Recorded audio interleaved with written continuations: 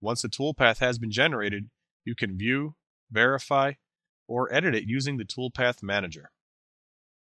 This button will turn the toolpath display on and off like so. Press the Parameters button to access the toolpath dialog box to make any necessary adjustments to the toolpath. To verify the toolpath, press the Verify button found in the Toolpath Manager. A default size stock will be loaded. This job has already had some roughing motion cut on the block, and it was verified in Mastercam for SOLIDWORKS. The rough stock model was saved using the Save Stock File button found here on the Verify dialog.